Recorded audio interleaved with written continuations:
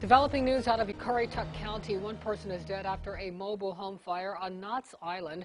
The Virginia Beach Fire Department also responded and posted these pictures from the scene on, on Porchard Lane on Facebook. After crews put out the flames around 8.30 this morning, they found one person dead. Investigators are working to figure out what started this fire.